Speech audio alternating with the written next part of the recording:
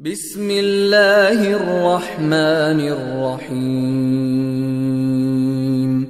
إذا زلزلت الأرض زلزالها وأخرجت الأرض أثقالها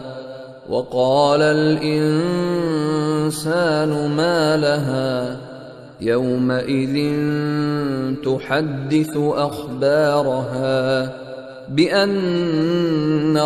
ربك أوحى لها يومئذ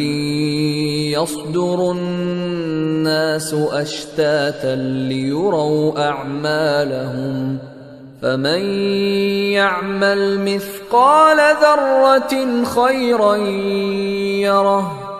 ومن يعمل مثقال ذرة شرا يره